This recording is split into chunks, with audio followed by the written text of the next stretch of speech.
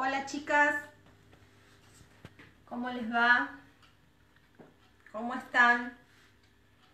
Bueno, vamos a, continuar con este curso inicial de mosaicismo.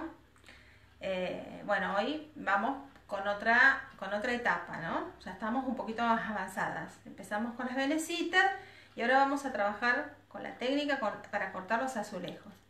Es la técnica que por ahí es la que más a las chicas les gusta. Así que bueno, vamos a empezar con ese tema. Pero primero les quiero mostrar el espejo cómo quedó. ¿Se acuerdan el espejo? Hoy sería la quinta clase. Eh, este fue el, la clase 4, ¿no? Cuando completamos está, está el espejito este. Miren cómo quedó. Divino, ¿no? Ya todo limpito. Le, sacamos toda la pastina que habíamos hecho la última clase. Mira, quiero que vean los bordes, porque muchos me decían, ¿y cómo terminas los bordes? Bueno, para que vean acá, vean los bordes cómo están. Se pone la pastina, porque para eso dejamos 2 milímetros. Preguntaron en el video y yo no les contesté, porque es mejor Ahí lo están viendo, cómo se fue terminando, ¿no?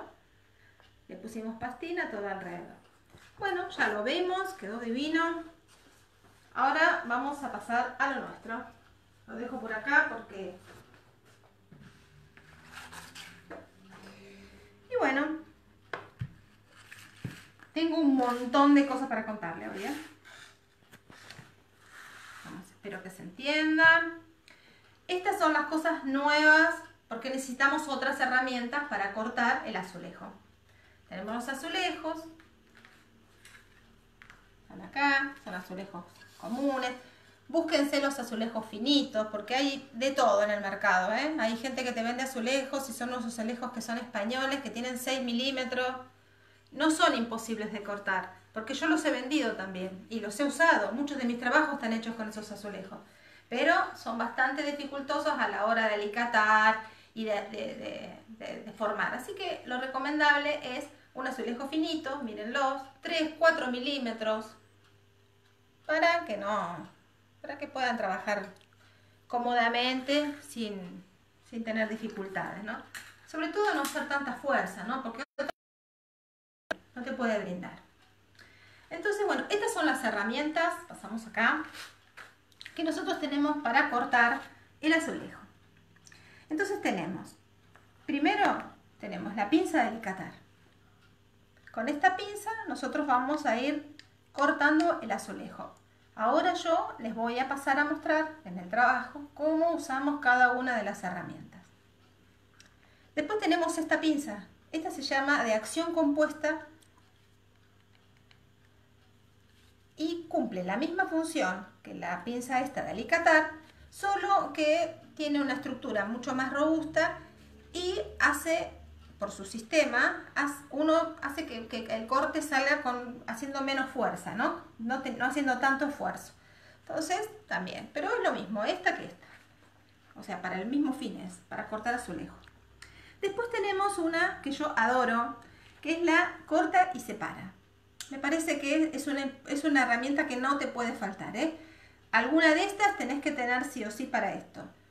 Y la corta y separa. Miren, esto es una ruedita.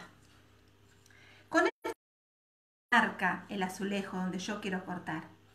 Y esto es para separar el corte. También lo vamos a usar ahora y van a ver cómo se, cómo se hace el corte del azulejo.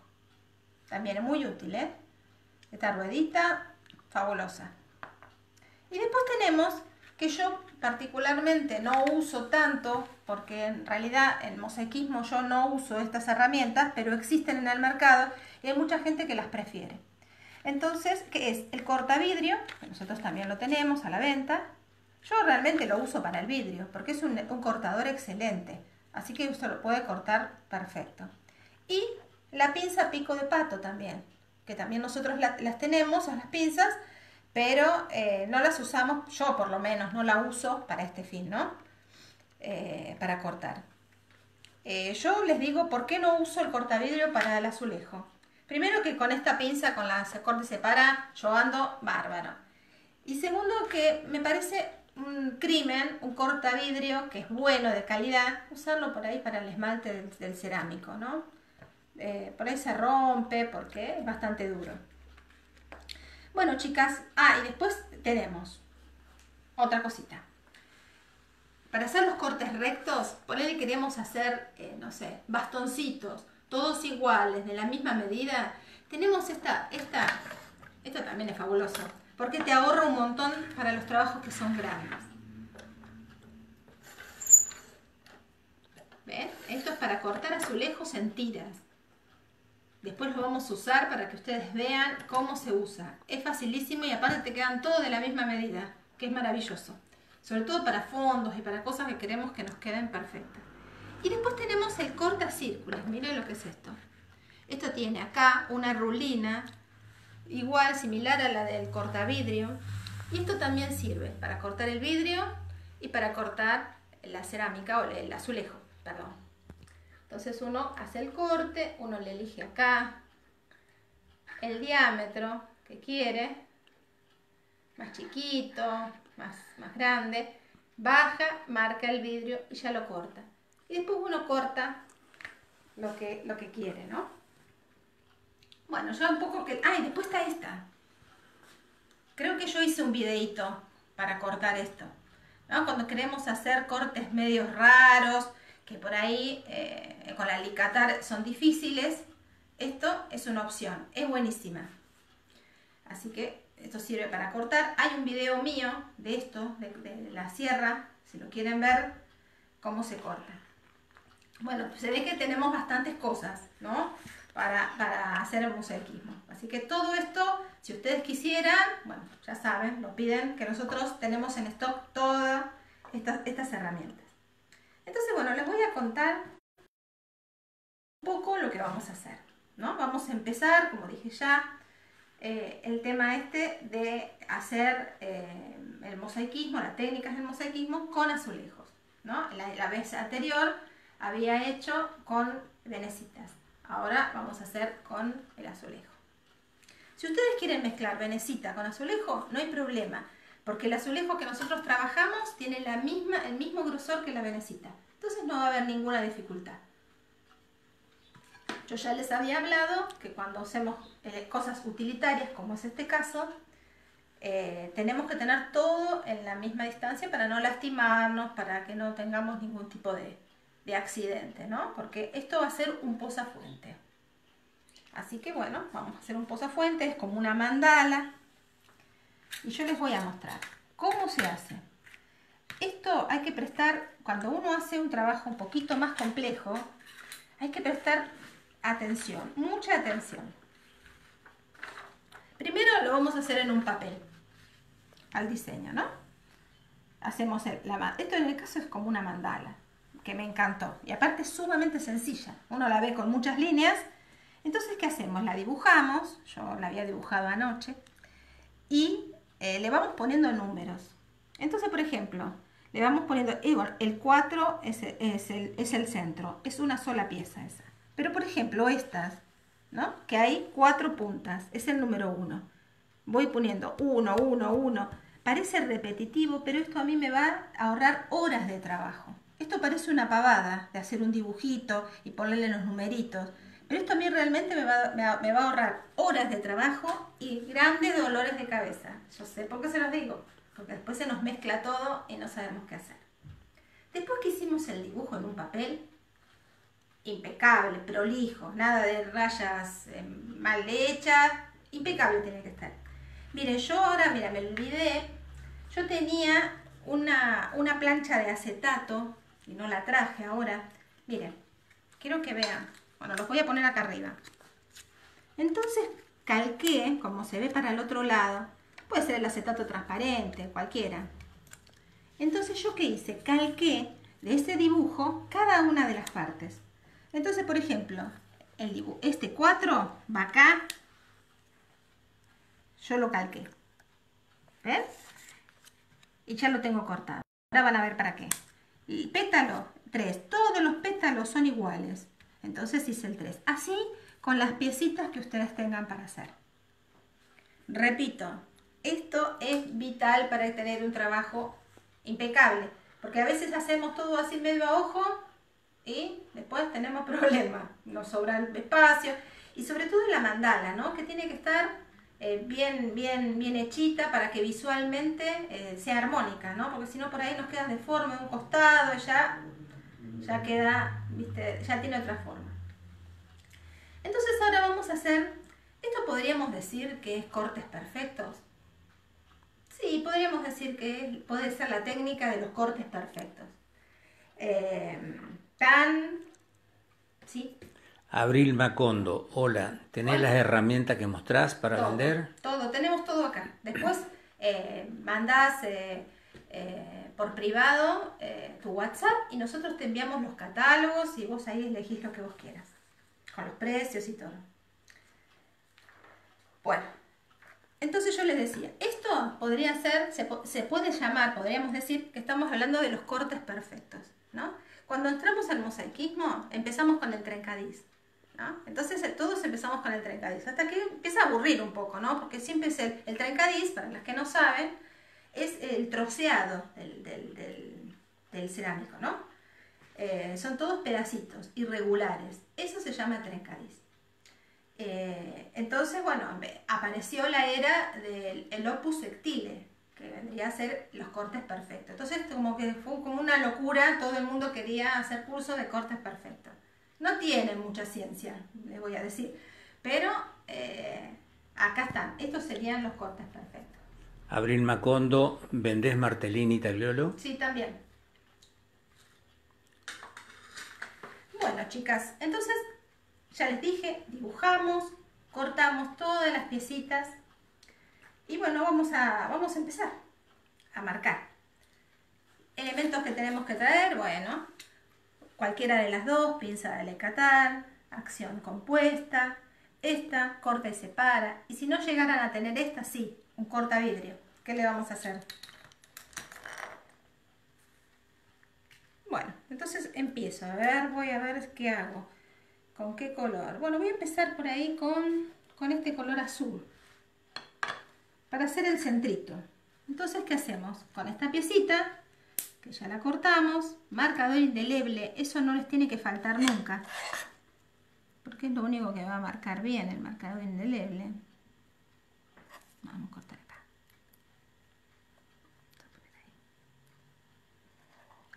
Mire qué fácil que es. Por eso le digo, ustedes se toman el trabajo de, de, hacer toda la... de hacer el dibujito y después es fácil.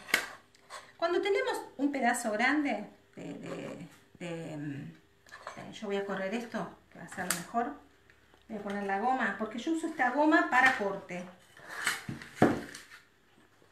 la goma me frena la pieza que voy a cortar y es más seguro para mí. Mabel Aguado saluda, hola Vero, y manda corazoncitos. He visto que estuvieron trabajando un montón, ¿eh? Hicieron un montón de cosas.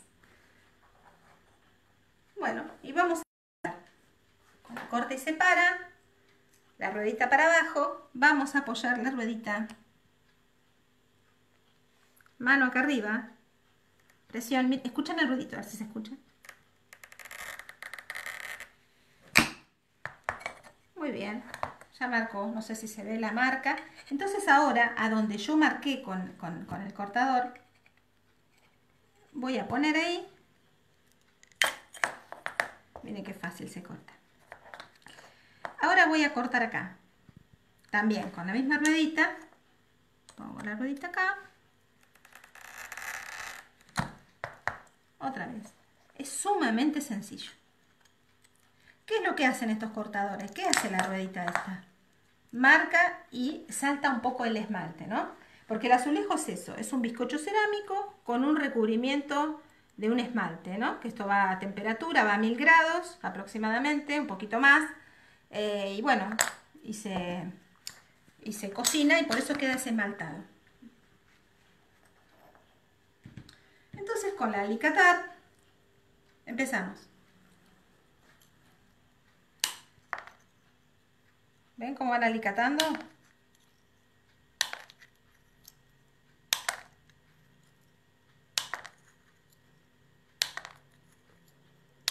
La pinza siempre en las manos acá, para eso tiene estas, estas, estas curvas, es anatómica, ¿para qué? Para que no me canse con las horas de trabajo. Y que no me vaya a lesionar tampoco, ¿no?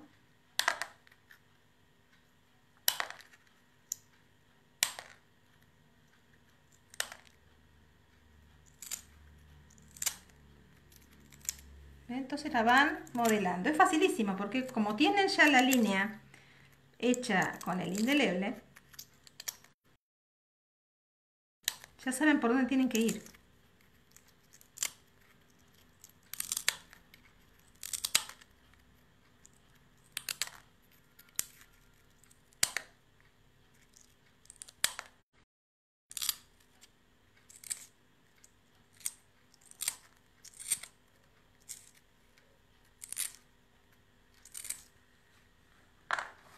Me olvidé la piedra. Ah, siempre me olvido de algo.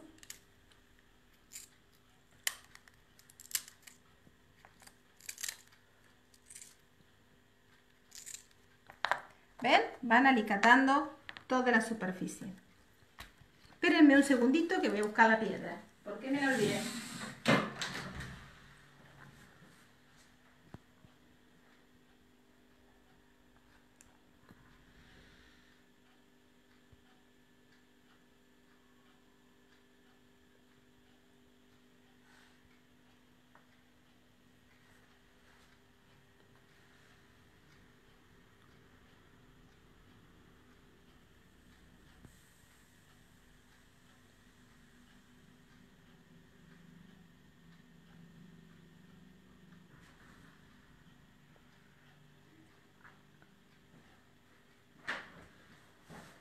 Llegué, llegué. Siempre me olvido de algo. ¿Se acuerdan de la piedra que les dije el otro día? La piedra esa para las venecitas. Bueno, esto va buenísimo. Miren. Rosana Parra Muñoz, excelente.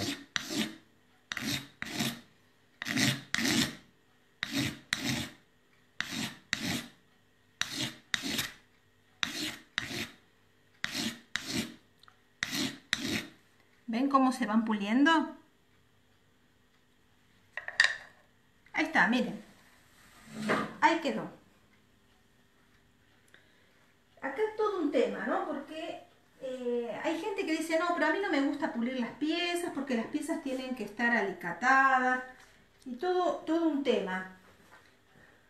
Pero a nosotras nos gusta que queden lindas, ¿no?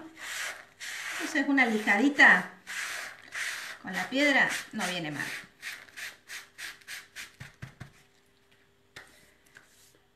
Ya hicimos el centro. Generalmente yo empiezo del centro para afuera. Tengo esa costumbre. ¿Por qué? Porque cuando trabajo en malla, si yo llego a hacerlo al revés, puede que se me deforme a la hora del secado. Entonces siempre hacemos los trabajos del centro hacia afuera porque a veces estamos viendo todavía los colores, no sabemos y empezamos a hacer, sobre todo en la malla, acá no hay problema porque es una madera y no va a pasar nada acá, esto no se va a deformar. Pero en la malla acostúmbrense, cuando hacen este tipo de trabajos, empiecen siempre del centro para afuera para evitar que en el secado se les deforme. Porque si se les llega a deformar la malla, no lo pegan más a la pared. Se les va a empezar a despegar, la colocación se puede hacer muy dificultosa y no va. Bueno, ahora voy a hacer los pétalos. Y por ahí los pétalos. Voy a hacer de amarillo estos. Sí, lo voy a hacer de amarillo.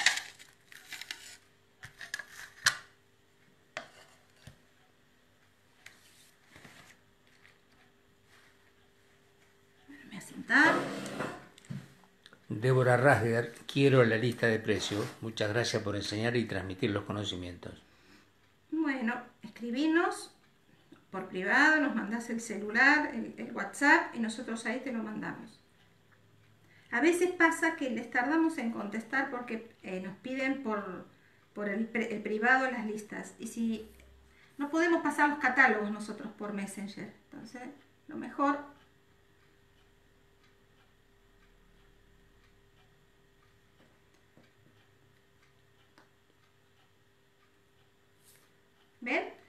Hicimos los, los pétalos. Estos los pétalos son todos iguales. Y cuando agarramos un azulejo, lo mejor es cortar una tira y eh, para poder cortar los dos. Y aprovechar el, el material del azulejo. Entonces, otra vez volvemos con la corte separa.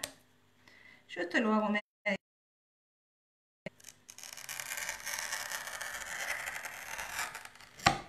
María de Michelis, muy lindo trabajo. Hola María, ¿cómo andás? ¿Ven qué fácil se corta? Esta también sirve para vidrio, ¿eh?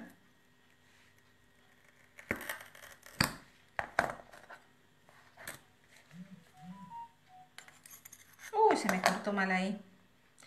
Bueno, cosas que pasan. Nos servirá para otro trabajo ese. Bueno, voy a hacer este. Se ve que estaría sentido este. Bueno. El mismo procedimiento. Ahora voy a agarrar la de acción compuesta para cortar. Entonces, ¿ven?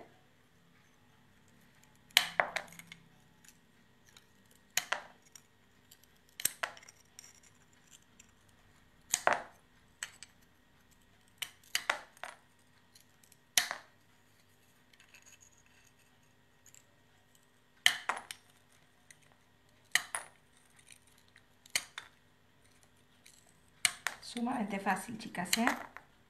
Esto sí, es paciencia.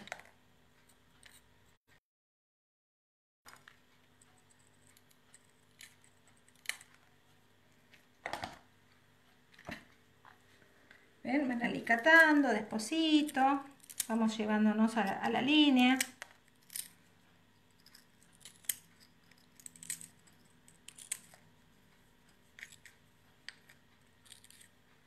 Mabel Aguado pregunta si se puede cortar con cortador de vidrios. Sí, se puede.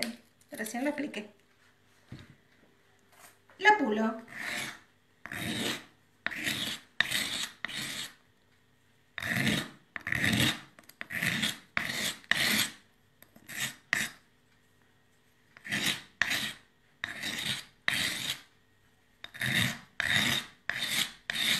Esto así, siempre en seco, ¿eh? Ocurra mojar la piedra, ¿eh? porque he visto gente que la ha mojado y después ¿qué pasa? esto que es bizcocho cerámico se empasta y después queda una pasta que queda pegada a esto, ya no cumple más la función. Así que la piedra no la mojen, siempre se quita. Gabriela Cúparo, hola, hola, te, hola Vero, desde Mar del Plata te miro, me encanta verte. Bueno, gracias. Corazoncito manda. Un beso, un beso grande. Ya está el petalito, miren qué lindo. Una pavada, un segundo. Lo coloco, ¿dónde va? ¿Dónde está mi dibujo? Estos es lo que se llama cortes perfectos. Esto es lo que dicen opus sectile.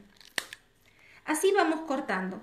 Por eso hicimos nosotros los patrones con el acetato o puede ser un cartón un poquito más duro, eh, con lo que tengan ustedes en casa se hacen las plantillitas estas para poder armar y que esto quede, quede lindo. Les quiero comentar un poco, ¿no? Porque por ahí me preguntan este tema. Ah, ah ya me estaba olvidando. El cortavidrio, el lubricante.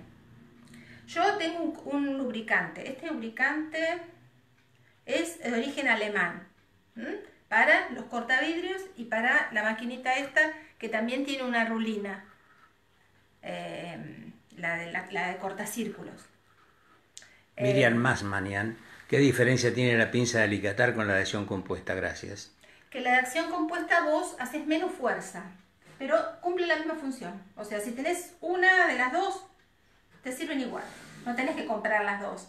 Pero por ahí viste que hay chicas que tienen problemas eh, de las manos o no, para no hacer tanta fuerza eh, lo mejor es comprarse la acción compuesta. Abril Macondo, ¿la piedra es la misma que se usa para afilar los cuchillos? No, pensé que me ibas a decir que la piedra era la misma de, la otra vez del, del, mosaicismo. No, esta es una piedra para mosaicismo. Irene Mon Lanús. Hola, saludo desde Lanús Oeste, siempre presente en tu clase. Ay, bueno, gracias, un beso grande. Entonces, bueno, les dije que los cortavidrios siempre con lubricante, por favor, ¿eh? Eh, traten de buscar un, lubricante bueno. El otro día estuve leyendo eh, la cantidad de lubricantes que dicen que van. Yo realmente hay gente que le pone aceite Johnson. Yo prefiero invertir en un aceite para, lubricar, para, para los cortavidrios. Por eso tengo un aceite. Me compré este frasco hace 20 años, chicas. Bueno, ya casi que no tengo, pero fíjense lo que dura. La verdad que no se justifica por ahí. Eh, los cortadores buenos de marca son muy costosos. Eh, entonces, por ahí, ya que hicimos la inversión, cuidemos las herramientas. Siempre les digo lo mismo. Compremos buenas herramientas para que nos duren en el tiempo. ¿no? Eh, bueno, les quería decir un poco, bueno, del tema este de las... bueno, ya les dije del tema de las herramientas. y, quería hablarles un poco de los cortes, ¿no? De los métodos, del mosaicismo, ¿no? Porque eh, las chicas por ahí hablan del trencadís, algunas no saben qué es el trencadís. Entonces el trencadís es una... Em, es un método de mosaicismo eh, de mosaicismo que es, eh, que es poniendo las teselas o los pedacitos en forma irregular y los vamos acomodando según un dibujo. Si nosotros, por ejemplo, que hubiéramos querido hacer entre Cádiz esto, hubiéramos agarrado todos pedacitos y hubiéramos colocado en todo esto. Yo no les enseño eso porque eso no hace falta mucha ciencia. Eh, se corta el azulejo y se pone a donde quepa, se pone el, pedacito del azulejo. O de la venecita, ¿no? Porque también están haciendo ese, ese tipo de troceado para ponerlo ahí. Ese es el trencadís, pero Vamos a hablar también de los métodos, ¿no? ¿Cuáles son los métodos? Miriam Cornejo, ¿para qué se utiliza el lubricante?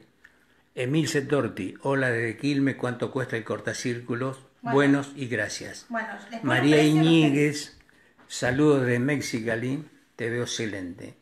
Ambarmat, hola, muy claras tus explicaciones. Graciela Rossi, hola, saludos de Mendoza, siempre siguiéndote. Ah, bueno, gracias chicas. Eh, bueno, los precios los piden por privado. Eh, y el tema este, bueno, estaba hablando de las técnicas y de los métodos, ¿no? Entonces tenemos eh, los, las técnicas, bueno, habíamos recién hablado del trencadís, y los métodos tenemos, tenemos el método directo, que el método directo vendría como esto, o como lo que hicimos en el, en el espejo, ¿no? Pegamos directamente en el soporte. Después tenemos el método, el, el doble directo creo que es, es el de malla que donde toca, ponemos, pegamos las, las figuras en la malla y, las vamos a... Y lo ponemos a la malla eh, exclusivamente para no tener la dificultad de hacerlo en el lugar. Por ejemplo, un mural, ¿no? Algo grande. Lo vamos a hacer en malla. Lo vamos a ir armando cómodamente en una mesa sobre la malla y lo vamos después a colocar en el lugar definitivo que va a ser la pared. Entonces ahí tenemos que pegar las teselas en la malla, por eso es, doble, es un método doble directo. María Isabel Marroquín Marroquín, hola, me encanta todo lo que haces, Iquique, Chile. Después tengo el, el método indirecto, esto lo tengo que volver a Directo. El método indirecto es cuando agarro las piezas, las pongo boca abajo sobre un papel, ¿no? Entonces armo toda la estructura en un papel. Y después eso lo pongo en el lugar definitivo. Y después saco el papel. Después tengo, hay un método, hay un método que es para hacer baldosas. Que ese es el método invertido, ¿no? Hago también en una plancha de papel, corto las teselitas, las pego en la plancha de papel y después ahí arriba sobre generalmente un molde, ¿no? Y ahí después tiro cemento y, otras cosas. Estoy limpiando el marcador indeleble para correr la pieza y volverla a cortar. Ven que esto sale con alcohol. Igual con la pastina sale todo.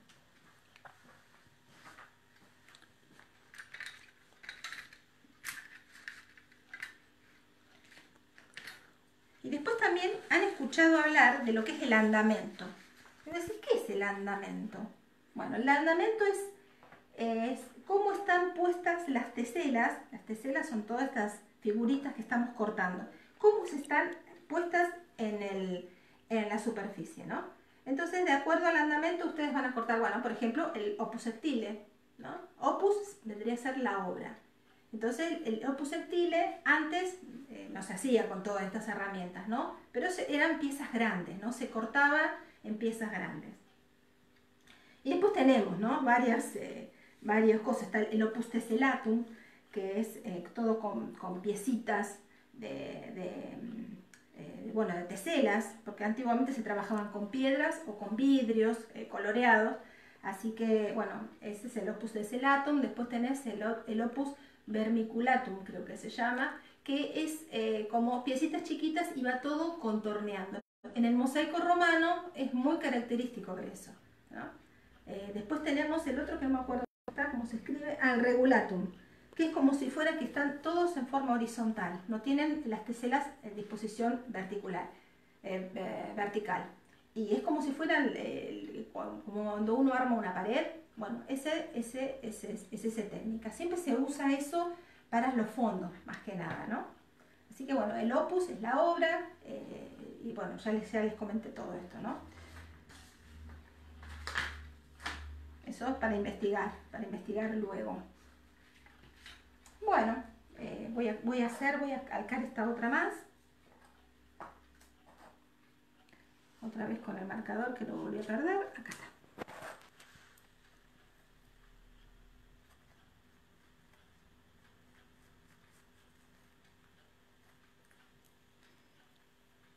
Que lo cortan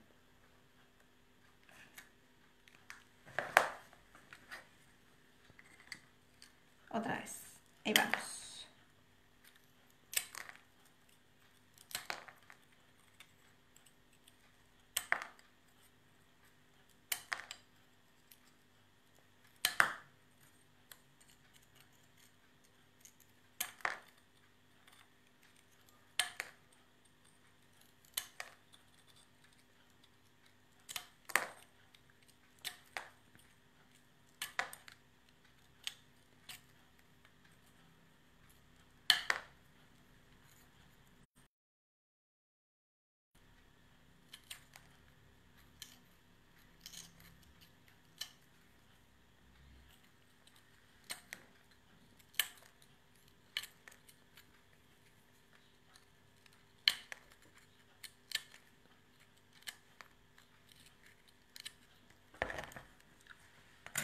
Ana Bordón dice que recién te encuentra, que está muy lindo. Me alegro.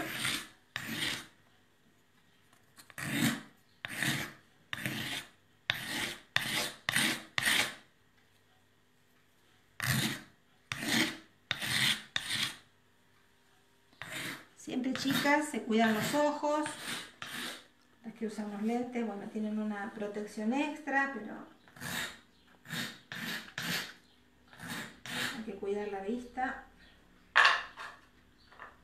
Miren, ¿ven? Y vamos armando el rompecabezas.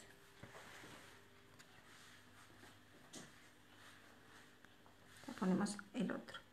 Ya tenemos estas dos. Bueno, después viene esta. Cuando ya por ahí en la próxima clase cortamos estas. Después ven estas. Estas. Y después el fondo sí lo voy a hacer en trencadís. Voy a, cortar pedacitos y los vamos a ir poniendo en el borde.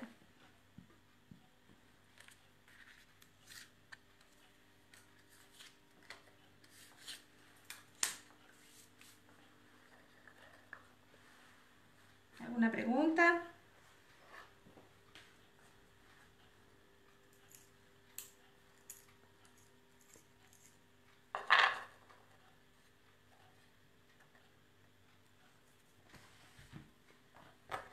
Esto también siempre lo tienen que, lo tienen que sacar de acá.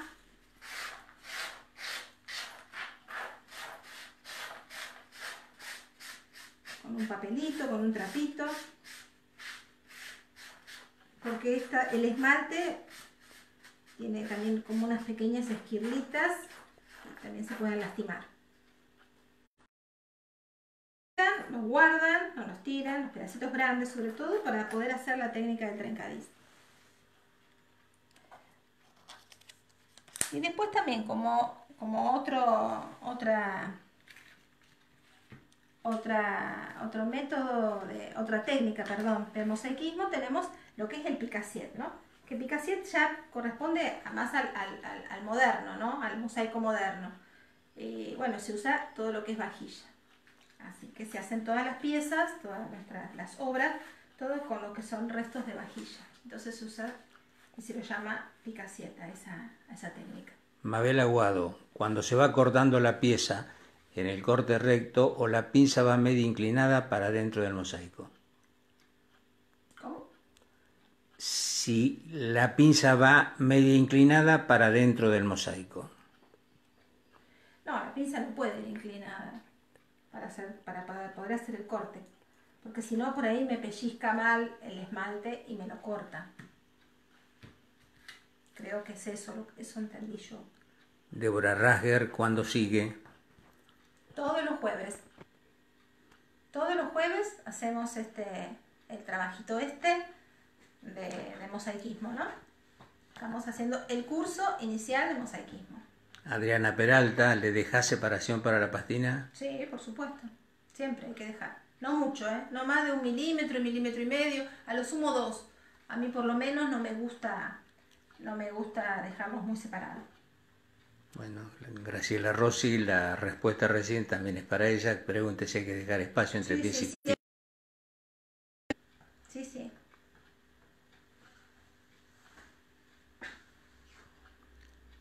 Bueno, chicas, voy a hacer un cortecito más. Voy a primero hacer otros pétalos más para volverles a mostrar el uso de la, herramienta para hacer el corte, ¿no? Cómo se apoya la mano y todo.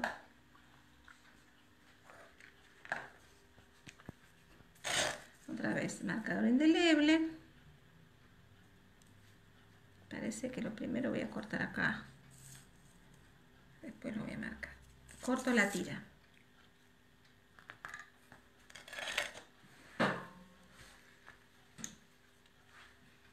Apoyo, pongo la mano acá, sobre todo para que no se me vaya, no porque tenga que hacer una fuerza extraordinaria. ¿Escuchan el ruidito? ¿Ven la marquita? ¿Se ve la marquita? Ahí donde corté. Capaz que sí se ve. Tengo dada vuelta. Noemí Mancilla, me gusta la explicación.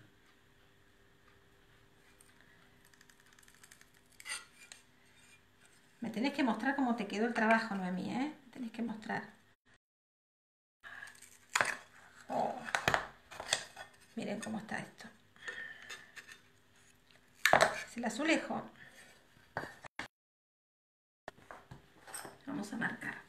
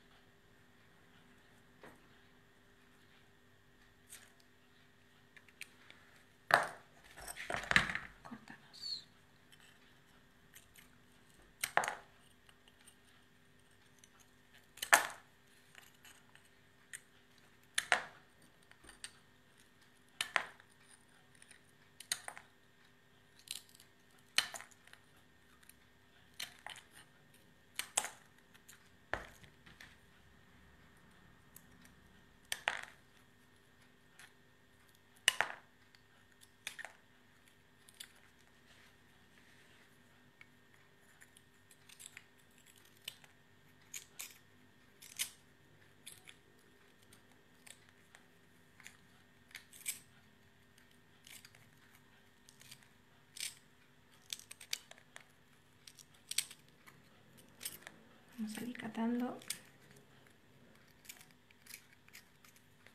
Miren. Vamos a ir catando. Después lo que queda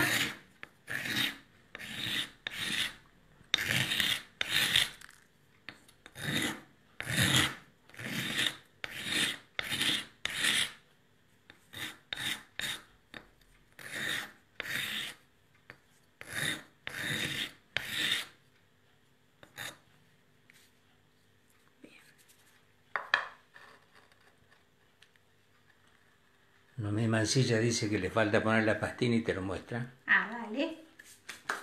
¿Ven? Miren qué fácil y qué rápido, porque hace nada que estamos. Y charlando y todo, pudimos cortar. Y ya fuimos. Después lo vamos a ir pegando y lo vamos a ir ajustando. Por ahí tendríamos que pulir un poquito más las piezas, porque si no, porque empieza de a poquito, se empieza a agrandar y no me va a respetar el dibujo. Entonces hay que tener mucho cuidado con no pasarse del límite del dibujo que uno está haciendo, ¿no? María de Micheli le dice a Noemí que todos quieren verlo. Claro, que lo muestre que yo lo publico.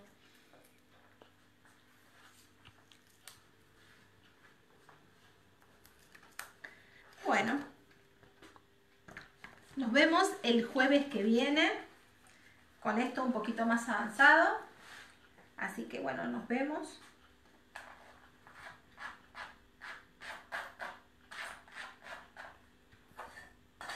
Nos vemos la próxima. Así que bueno, les mando un beso grande, que sigamos mosaiqueando.